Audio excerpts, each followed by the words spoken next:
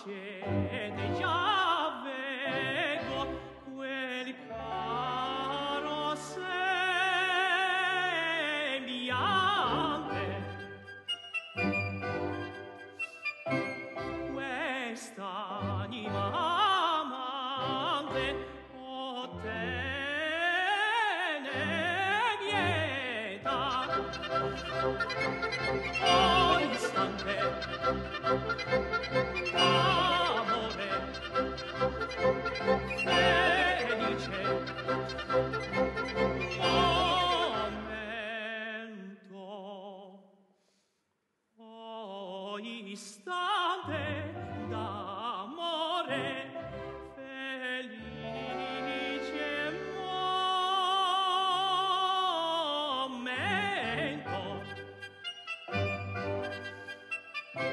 o dolceconte nco guarda.